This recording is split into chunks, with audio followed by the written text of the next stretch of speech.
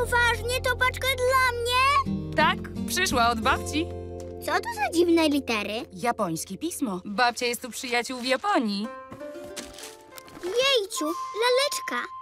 Jest naprawdę ładna. Kochana Dosiu, mam nadzieję, że podoba ci się ta lalka.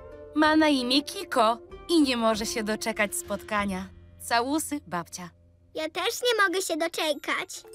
To znaczy, właśnie ją spotkałam, więc mogę. Pamiętaj, żeby podziękować babci. Oczywiście. Teraz zabiorę Kiko do kliniki. Dobrze, tylko rozpakuj ją bardzo ostrożnie. Ma za sobą długą podróż. Dobrze.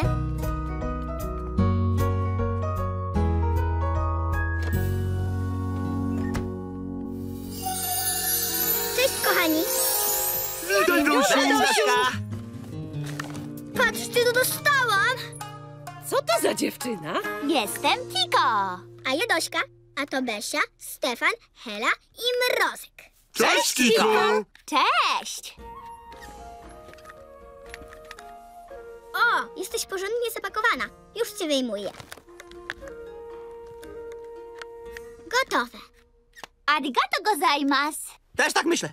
Stefciu, czy wiesz, co ona powiedziała? To po japońsku. Powiedziałam dziękuję. Jasne, wiedziałem. A dlaczego ty mówisz po japońsku? A dlatego, że jestem z Japonii. No, z Japonii. Bo ja to jestem z materiału. Japonia to nie żadne tworzywo, Stefciu. To jest kraj. Chodźcie, pokażę wam. Od tego kręcenia trochę kręci mi się w głowie. O!